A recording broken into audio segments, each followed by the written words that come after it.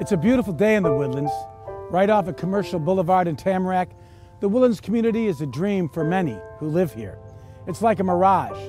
When people enter its lush entrance, travel down the tree-lined boulevard, past the manicured lawns and enter the driveways of the mid-century modern homes, it's beautiful.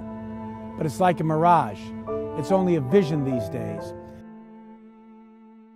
An unscrupulous developer, 13 floor homes, has proposed to cram 400 homes, many of them two story zero lot line homes, into the community and increase traffic by 700%. That's right, 700%.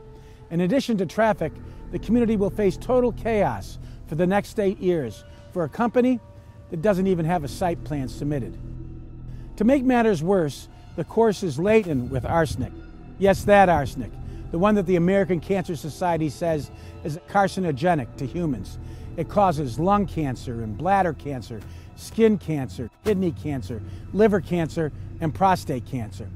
When the mayor, Michelle Gomez, heard about arsenic, she immediately called 13th Floor and their lawyer, Scott Backman, and she said to them, any information about arsenic would adversely affect the ability to approve current or future projects like the one in the woodlands.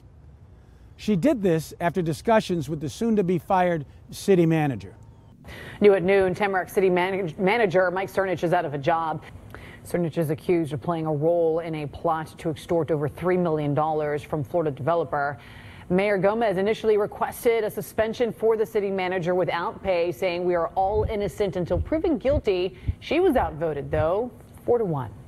But it was a different story when she came and met with us, the homeowners in the woodlands. We asked her, What about arsenic? We're concerned. But not Michelle Gomez. This is what she said.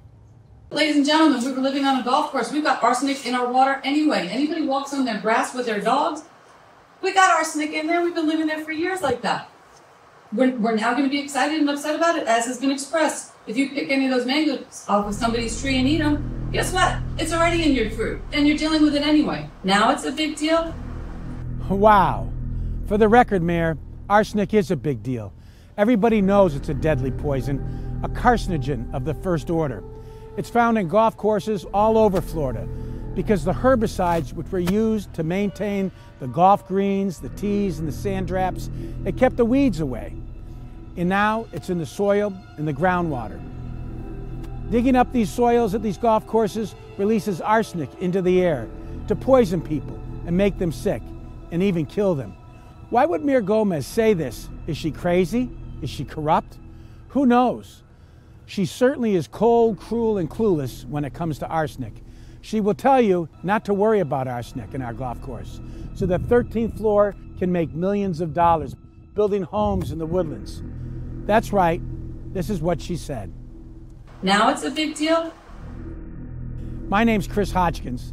I live in the woodlands. I'm president of the Woodlands Homeowners Association for Section 4.